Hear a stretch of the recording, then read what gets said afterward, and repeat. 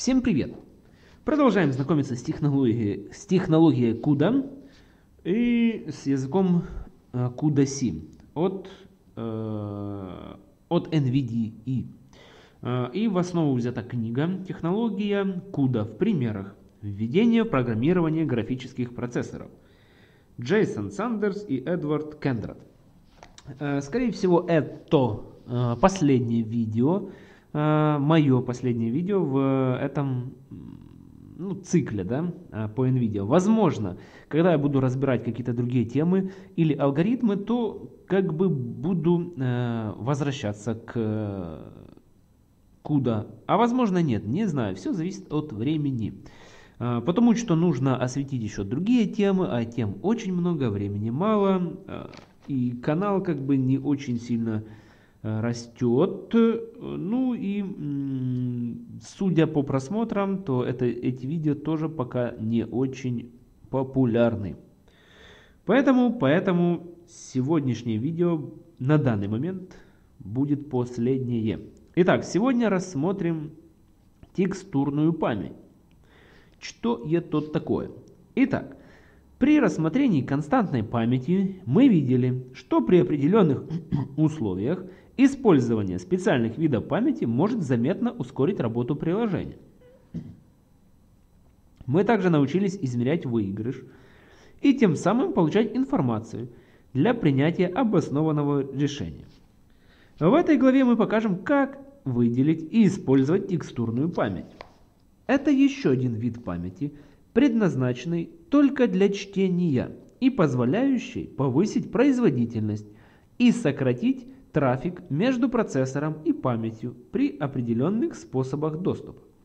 Хотя изначально текстурная память предназначалась для традиционных графических программ, ее можно с успехом применять и в некоторых вычислительных приложениях GPU, то есть графического процессора. Итак, итак, идем дальше. А, вы уже знаете секрет. А, в программах на CUDA-C можно использовать еще один вид доступной только для чтения памяти. То есть мы использовали константную память. И вот можно еще использовать текстурную память. А, хитроумный механизм текстурной памяти GPU применим и к вычислениям общего назначения. Хотя NVIDIA проектировала текстурные устройства для поддержки классических конвейеров рендеринга OpenGL и DirectX.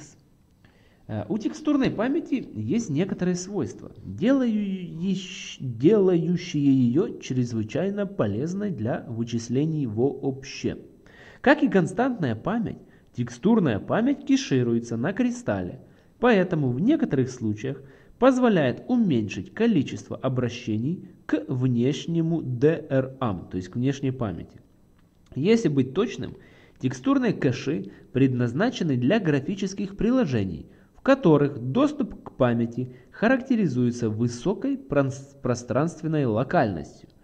В вычислительном приложении общего назначения это означает, что нить с большей вероятностью будет обращаться к адресам, расположенных рядом с адресами, к которым обращаются близкие нити. Близкие нити, вот они. То есть мы сегодня рассмотрим такой а, небольшой теплообмен, ну, эмуляцию теплообмена. Так вот, еще раз повторю последнее предложение. Смотрим на картинку.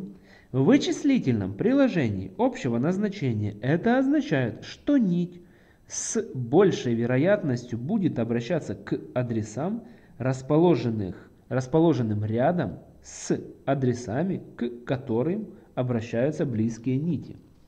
То есть вот нити, которые рядом, и они с большей вероятностью будут обращаться к соседним адресам. С точки зрения арифметики, Четыре показанных на этом рисунке адреса не являются соседними, поэтому не будут кешироваться вместе при использовании стандартной схемы кеширования, применяемой на центральном процессоре. Но текстурные кеши GPU графического процессора специально разработаны для ускорения доступа в таких ситуациях. Поэтому применение текстурной памяти вместо глобальной может дать выигрыш.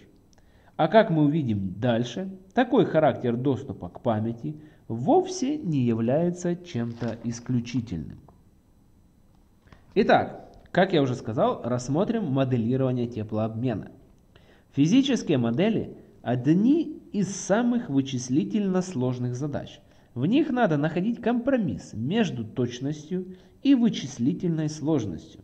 Поэтому в последние годы, во многом благодаря революции в параллельных вычислениях, сделавшей возможным увеличение точности, компьютерное моделирование стало играть столь важную роль. Многие физические модели легко распараллеливаются. И в этом разделе мы рассмотрим одну очень простую модель такого рода.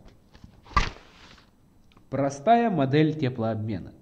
Чтобы продемонстрировать ситуацию, в которой, так, давайте я еще раз запущу, в которой можно эффективно задействовать текстурную память, мы построим простую двумерную модель теплообмена.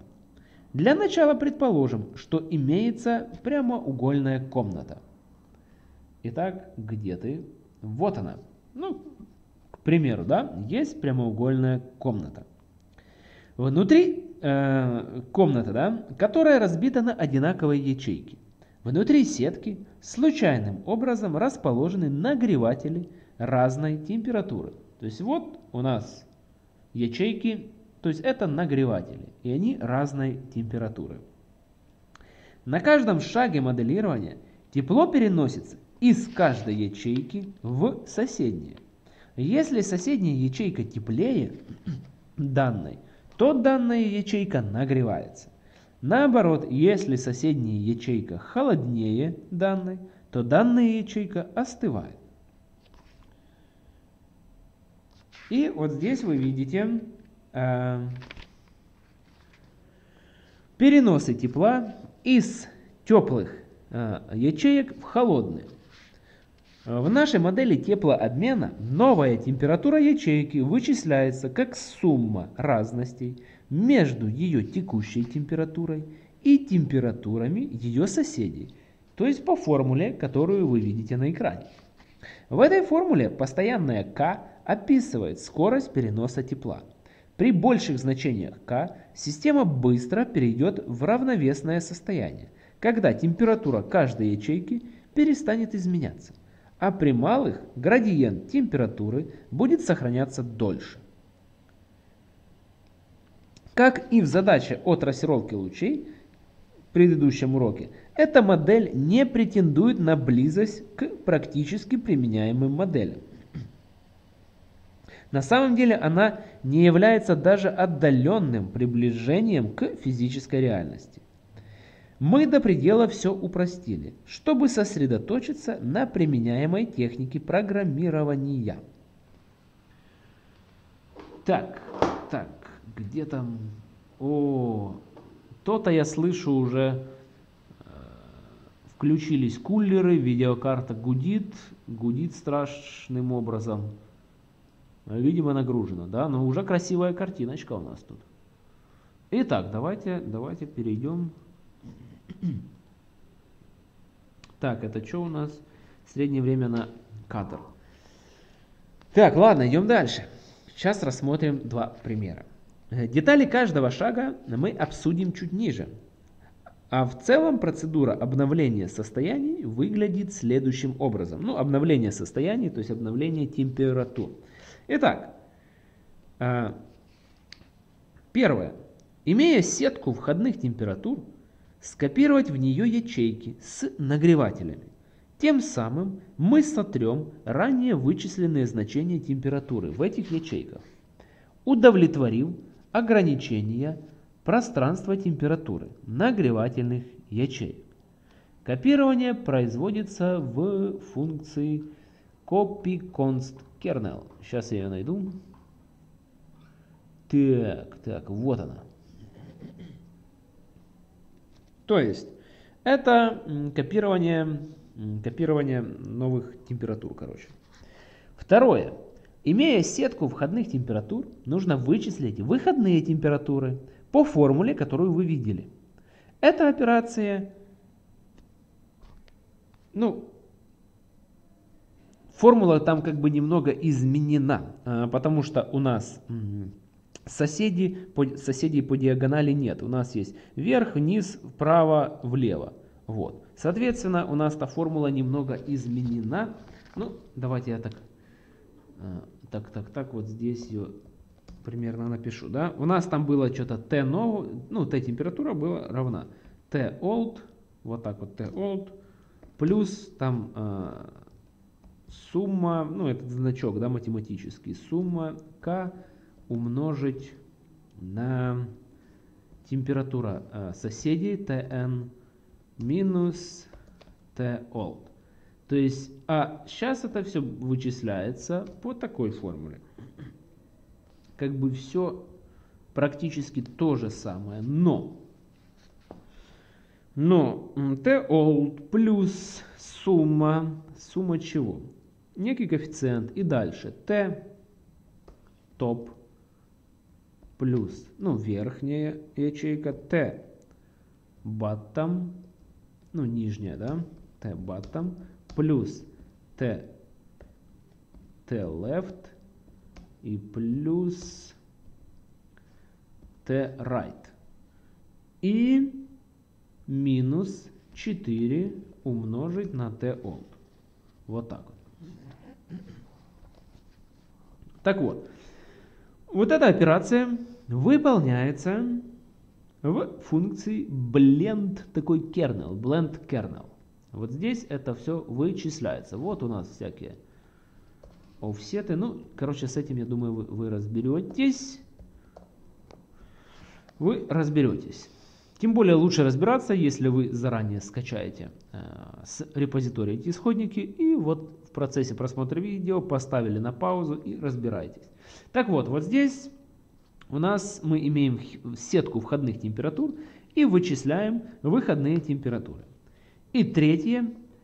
Нужно обменять местами входной и выходной буферы, подготовил все для следующего шага моделирования. Теперь входные температуры, вычисленные на шаге 2, то есть вот на этом шаге, становятся входными для шага 1 в следующий момент времени. То есть шаг 1 мы копируем, то есть мы имеем сетку входных температур и копируем в нее ячейки с нагревателем. То есть мы стираем предыдущее да, там значение. Дальше мы вычисляем данные, и потом эти данные опять копируем, ну и, и так далее. То есть идет такая, такое моделирование. Перед тем, как приступить к моделированию, предположим, что мы уже сгенерировали сетку констант. Большинство ячеек в этой сетке содержат нули, но в некоторых температура отлична от нуля. Это и есть нагреватель. Буфер констант не будет изменяться во время моделирования и считывается на каждом шаге. Так, на каждом шаге.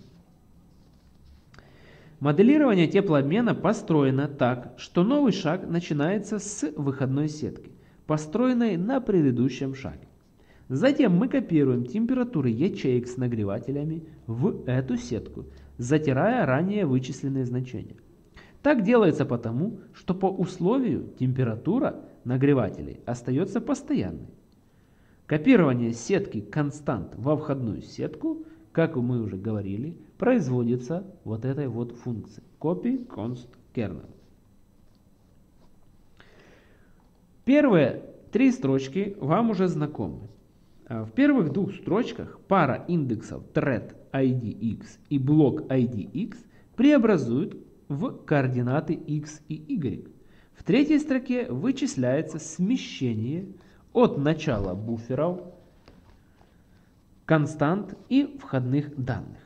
Э, теперь посмотрим на вот эти строчки.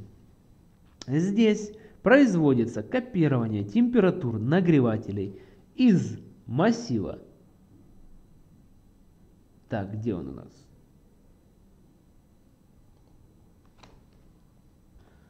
Ну да, здесь вон еще функция дополнительная. У нас как бы из э, мы получаем значение э, ну Ну, ну, ну, какое мы значение получаем? Так, уже запутался. Читаю книгу и смотрю сюда. Так, короче, а, здесь производится копирование температур нагревателя во входную сетку, которая находится вот в этом массиве. А, в этом массиве. Есть. Вот здесь мы получаем смещение, дальше получаем значение, смотрим, если оно не равно нулю, и дальше копируем в эту сетку. Итак, Отметим, что температура в некоторой ячейке копируется, только если она не равна нулю. Вот здесь мы и проверяем, не равна ли она нулю. Тем самым мы сохраняем вычисленные на предыдущем шаге значения температуры в ячейках, которые не содержат нагреватели. Самый трудоемкий шаг – это шаг второй. Вот, вот этот.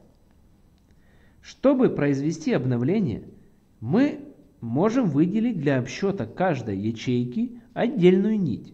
Она будет считывать температуры своей ячейки и ее соседей и вычислять новое значение.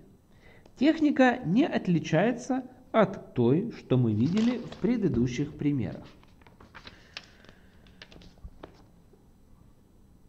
Так, это мы вычисляем значение пикселя. Это, я думаю, уже всем давно понятно.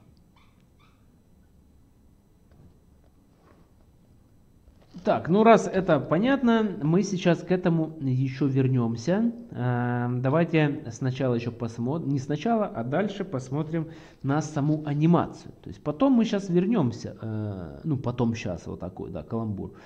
Э, потом вернемся к вот этому и разберем, что такое текстурная память. Так, так, вот э, к самой анимации перейдем, да? Что у нас тут такое?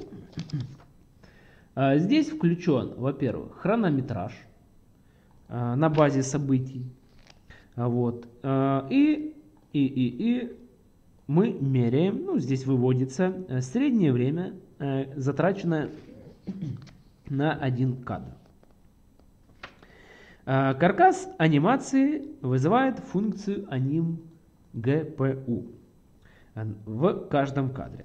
В качестве аргументов ей передается указатель на структуру дата-блок и количество уже прошедших тактов анимации. Как и в примерах анимации, которые мы рассматривали предыдущ, ну, предыдущие примеры, в предыдущих видео, э, мы используем блоки из 256 нитей, организованных в сетку 16 на 16. На каждой итерации цикла for, э, вот на каждой итерации вот этого цикла, вычисляется один временной шаг моделирования. Поскольку структура, вот эта структура дата-блок, содержит буфер постоянных температур нагревателей, а также результат последнего шага моделирования – то она инкапсулирует все состояния анимации, и следовательно вот эта функция anim вообще не нуждается в переменной тик. Далее, обратите внимание, что в одном кадре мы выполняем 90 шагов моделирования.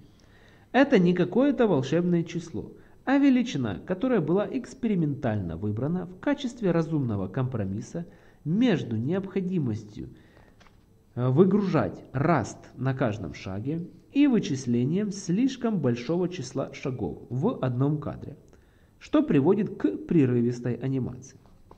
Если вас больше интересует наблюдение за результатом каждого шага моделирования, чем анимация в реальном времени, вы можете изменить тело функции так, чтобы в каждом кадре вычислялся ровно один шаг. Итак, после Вычисление 90 шагов моделирования с момента окончания предыдущего кадра.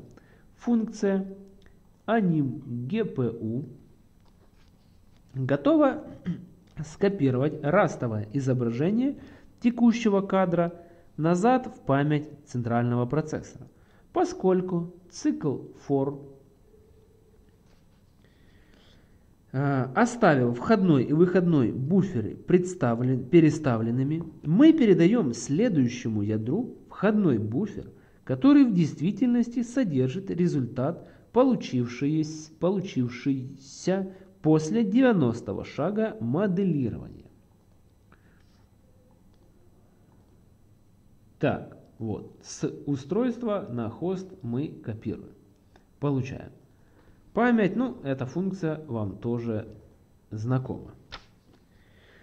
Наконец, чтобы подготовиться к следующей последовательности шагов моделирования, мы обмениваем входной буфер с выходным, поскольку последний будет выступать в роли входного на следующем шаге моделирования. Ну и вот здесь, вот здесь, конечно же, меряем среднее время. Ну, с этим, я думаю, вы тоже разберетесь. Итак, как же здесь применяется текстурная память? А, доступ к памяти в алгоритме пересчета температур на каждом шаге характеризуется пространственной локальностью. Мы говорили, что именно для ускорения работы в этом случае и была придумана текстурная память. Но прежде чем воспользоваться текстурной памятью, надо понять механизм ее работы. Сначала мы должны объявить входные данные как ссылки на текстуры. Давайте посмотрим эти входные данные. Вот. Мы используем текстуры с плавающей точкой, потому что именно в таком виде представлены данные температуры. Вот мы используем текстуры. Следующая особенность заключается в том, что после выделения памяти графического процессора для всех трех буферов мы должны привязать эти ссылки к буферам в памяти с помощью функции CUDA bind текстур. Вот. Э, unbind, а где-то у нас bind. Сейчас. Вот. Выделили память. Далее мы привязываем. Еще раз, да? А, мы должны привязать эти ссылки к буферам памяти с помощью функции CUDA bind текстур. Здесь мы привязываем, то есть эти ссылки к памяти. Итак, тем самым мы сообщаем исполняющей среде CUDA две вещи. Первое, что собираемся использовать указанный буфер в качестве текстуры. И второе, что собираемся использовать указанную ссылку в качестве имени текстуры.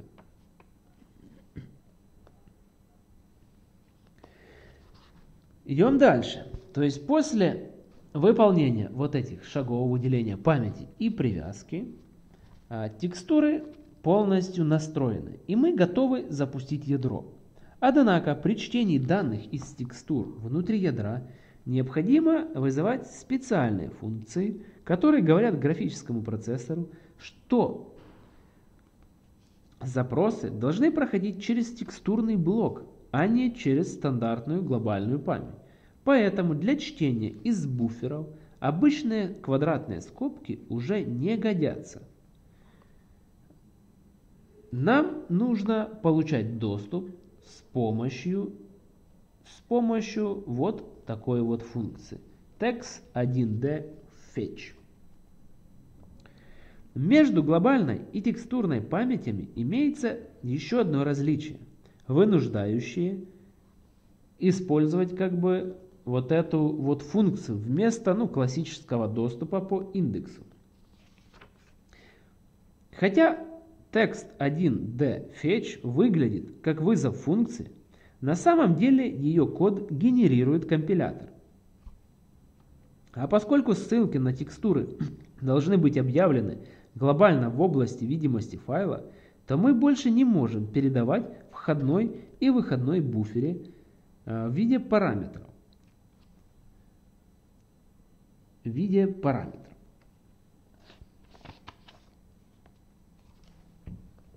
То есть, если бы мы не использовали а, текстурную память, то мы, скажем, передавали бы сюда входные и выходные параметры. Но мы их не передаем. Вместо этого мы передаем булевский флаг dstout, который показывает, какой входной, э, какой буфер входной, а какой выходной. Соответственно, вот здесь мы смотрим, это входной буфер или выходной. И в соответствии с этим мы, ну, как бы, э, как бы, как бы работаем с разными буферами. Есть text in и text out. Эти буферы, как вы видите, они глобальные. Соответственно, благодаря вот этому флагу, ну, такому механизму, мы работаем с разными буферами. Дальше. Вот это TLS, ну, CR, это как раз у нас низ, вверх, там вправо, лево. Это смещение. Ну, разберетесь, думаю. Итак, ядро. Вернемся к нашему ядру. Ядро э, читает из буфера, в котором хранятся позиции температуры нагревателя. Поэтому, поэтому, поэтому, вот здесь у нас вот есть буфер, да? Где он? Где он? Где он? Text const src. Вот он. Поэтому вот здесь вы тоже, да, видели эту функцию, ну перед этим я говорил, но я на нее не акцентировал внимание. А, вот теперь акцентирую. А, то есть здесь мы э, читаем данные не из глобальной, а из текстурной э, памяти, ну то есть из текстурного там буфера, из текстурной памяти.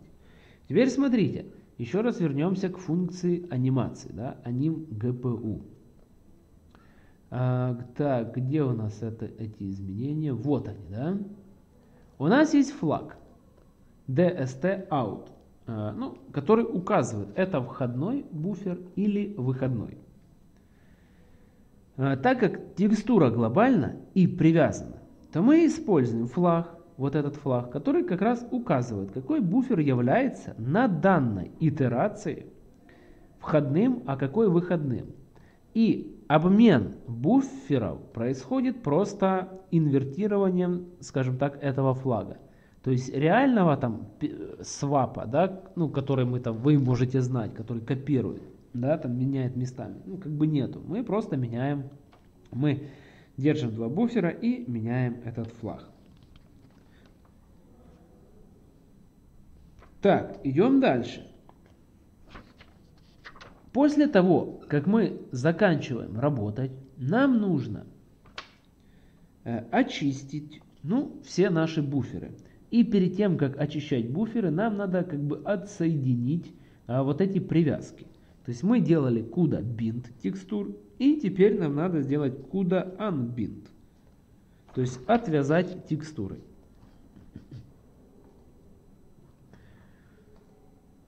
Вот. Ну, ну, ну, ну, ну и что? И что у нас тут получилось? Ну, что у нас получилось, вы видите. И здесь есть еще второй пример использования этой текстурной памяти. То есть я сейчас опять вот это проходить не буду. Я думаю, вы это не спеша можете просмотреть, ну и понять, что тут происходит. То есть это на самом деле не какая-то функция, а я уже сказал, да. Это доступ к памяти, но не с помощью классических э, индексов в квадратных скобочках, а, а, а, а с помощью вот такой функции, вместо которой генерится там специальный код. Итак, у нас есть пример 1. Example 1. И есть еще пример 2. А, как уже говорилось, некоторые задачи по своей природе двумерны. Поэтому иногда удобно использовать двумерные блоки и сетки. То же самое верно и в отношении текстурной памяти. Есть много случаев, когда полезно иметь двумерную область памяти. Для человека, знакомого с многомерными массивами в стандартном C, это неудивительно. Итак, давайте посмотрим, как можно модифицировать программу расчета теплообмена с применением двумерных текстур. Здесь мы применяли одномерные текстуры. Теперь давайте перейдем к примеру 2. Первое. Нам нужно было изменить сами объявления э, ссылок на текстуры. Если не указано противного, то по умолчанию вот ссылки да, на текстуры одномерны. Иначе, иначе, вот здесь мы указываем, иначе они, мы указали, что они двумерные. Дальше. Нам придется а, заменить обращение к text 1d fetch обращением к text 2d. Вот, как вы видите. Перед этим у нас было обращение к одномерной текстуре, ну, памяти, а сейчас к двумерной. Теперь в этой функции, давайте еще раз посмотрим на одномерную. В одномерной нам нужно, нужен был какой-то offset, э, нужны были какие-то офсеты. Здесь давайте посмотрим на этот вариант. Нам, ну как пишут да, в книге, нам больше не нужна переменная offset, которая применялась для линейных смещений top, left, right и bottom. Двумерную текстуру мы можем адресовать непосредственно с помощью координат x и y. То есть вот здесь как бы вроде уже удобней и, и очевидней. Давайте посмотрим на наш offset. Ну, offset вот здесь используется. Теперь смотрим первый пример. Здесь, здесь нам нужно было проводить всякие вычисления. Здесь же с использованием двумерных структур, э, текстур, точнее текстур, да, все гораздо проще. Ну, с этим, я думаю, вы тоже знакомы. Э, уже была задача, да, где, уже не помню, что там за задача была, где использовалась двумерная индексация. Итак, идем дальше. Далее, после перехода на текст 2D, на вот эту функцию, уже не нужно беспокоиться о выходе за границы массива. Если x или y меньше нуля, то текст 2D вернет значение, находящееся в позиции, у которой соответствующая координата равна нулю. Здесь же мы проверяли всякие значения. Там, если x равно нулю, то что-то там, а, смещению, смещение, смещение, или не проверяли, вроде нет. Ладно.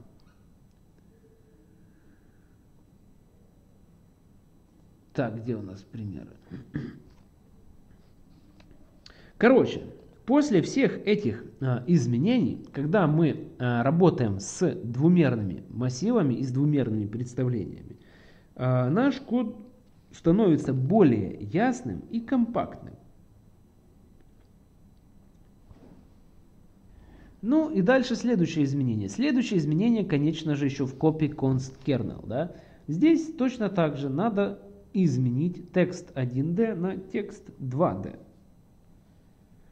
Дальше. Дальше функция main. Где у нас функция main? Э, э, э, вот, да? Точно так же нужно уже э, вызывать. Вот, давайте посмотрим на предыдущую функцию main. Как мы там биндили текстуры, да?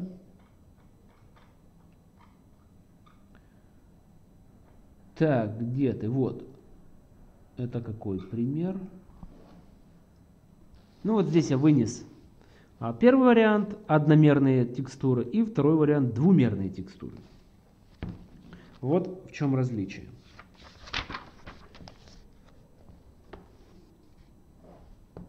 Ну, как вы видите, во втором варианте больше э, параметров, потому что нам, конечно же, надо обязательно указать еще размерность э, ну, нашей текстуры. В данном случае там dim на dim, потому что это двумерный массив. Да? Ну и если, если сравнить производительность, то она практически такая же. То есть выбор э, двумерной текстуры или одномерной, тут уже такое дело вкуса.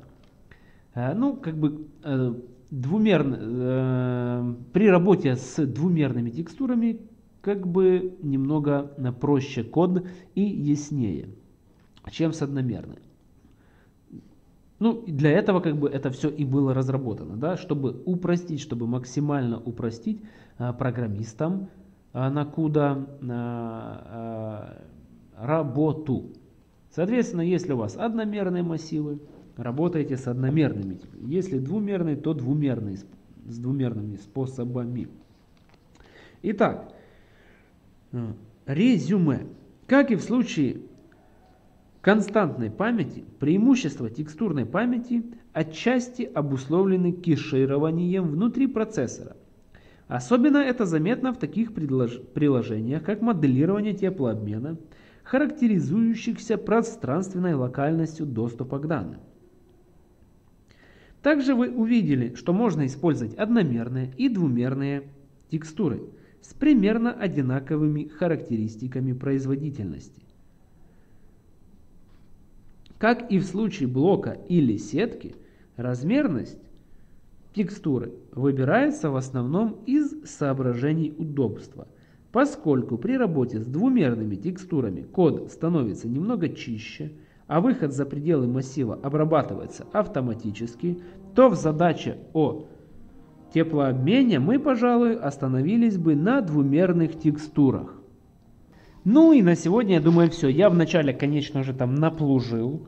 Я думаю, вы заметили, наплужил только в том плане, что был пример а, как бы без текстурной памяти, а я уже показывал текстур, э, блин, пример с текстурной памятью. И когда я это понял, было уже поздно.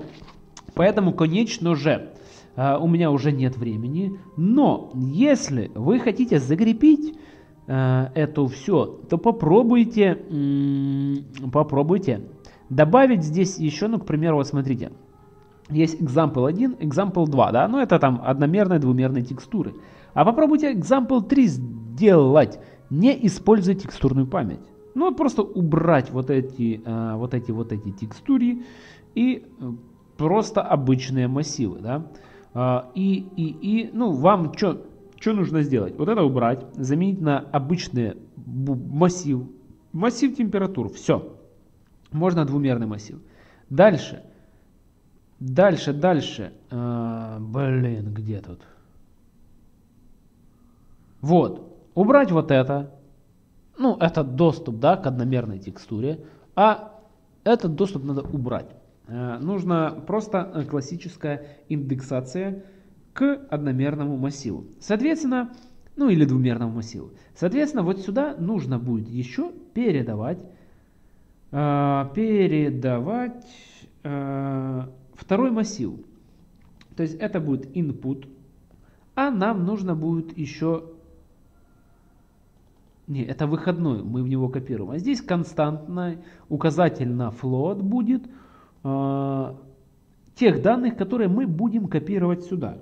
Соответственно, вместо вот этого C и доступа к текстурной памяти у нас должно быть что-то сейчас, что-то типа такого.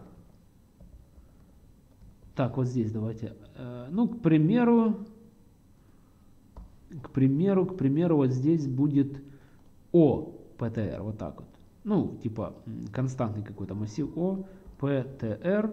Ну и здесь какой-то будет индекс. А индекс у нас вот здесь он вычисляется. Вот, вот так вот. Во. Ну, то есть вместо этой функции, короче. Я думаю, вы поняли. То есть убрать все, что связано с текстурами, и перенести на обычные э, буферы. И я думаю, я думаю, я думаю, будет, будет разница производительности. Ладно, я сейчас попробую быстро это сделать. Если не получится быстро, то извините, ну я вот сейчас нажму на паузу, а потом попробую. Короче, я это сделал. Фух, и знаете, что самое смешное? Ну, я думаю, вам это тоже будет полезно знать. Если вы вдруг будете читать какой-то старый материал, то чтобы знали, что все может быть уже не так. Смотрите, использование текстурной памяти. Среднее время на кадр 300 миллисекунд. Использов... Неиспользование текстурной памяти Запускаем. Как мы видим, и анимация красивее пошла. Среднее время 57 миллисекунд. Смешно, наверное. Книге говорили, что все будет быстрее. Я подозреваю, что... Ну, что я могу подозревать? Что где-то я, возможно, использую не то количество нитей. А нужно использовать, ну, чтобы ускорить конкретно для конкретной видеокарты, возможно, нужно менять эти значения. Не знаю, вряд ли, конечно же. Возможно, но, но что я здесь? Здесь нету example 0, здесь нету текстур. Здесь передается blend kernel, два массива входной, ну тот, который входной и выходной. То есть вот здесь производятся по той формуле вычисления. Э, дальше, дальше. Вот здесь swap меняется массивы местами. Ну, скорее всего, не массивы, а просто указатели. Э, дальше, дальше вот я передаю входной константный массив, потом выходной, входной. Ну, короче. Короче, и вот такая вот фишка, да, что с константной, ой, блин, а с текстурной памятью у меня чего-то, можно сказать, в 6 раз, ну, давайте в 5 скажем, ну в 6 раз, производительность просела. В чем загадка? Если вы разберетесь, ну, к примеру, может быть кому-то интересно, то, конечно же, напишите в комментарии, что не так. Хотя, возможно, у кого-то есть старенькая видеокарта с поддержкой NVIDIA CUDA, да, и, и текстурная память будет работать быстрее. Потому что что-то в предыдущем примере по поводу константной памяти, какие-то косяки, она почему-то не работала быстрее. Э, и здесь. Поэтому я, я даже не знаю, что сказать. Ну, ценность урока, я думаю, все равно есть какая-то. Вот. Ну и самая большая ценность в том, что нужно всегда замерять время. Как в книге, которую я зачитываю, «Совершенный код», там всегда говорилось, прежде чем что-то делать или улучшать, вы замерьте, а действительно ли там эти улучшения приведут э, к ускорению. Да? Так и здесь. Лично вот по этой книге, вот на этом ноутбуке, на этой видеокарте, лично у меня никаких ускорений нет, а даже просело. А я, наверное, неправильно использую. То есть, э, наверное. Это вполне возможно, и, и ну, это жизнь, да. Нужно учиться, я бы подытожил, нужно учиться программировать и использовать правильно а, текущие настройки, текущие возможности видеокарты, ну и, соответственно, правильно загружать. Короче, не буду больше вот это вот рассусоливать, как говорится у нас. А, пишите комментарии, если вы поняли почему и разобрались почему вот такие странные результаты. Ну и все такое. В общем, подписываемся, делимся, комментируем, ставим лайки и так далее. Всем спасибо за внимание, всем пока.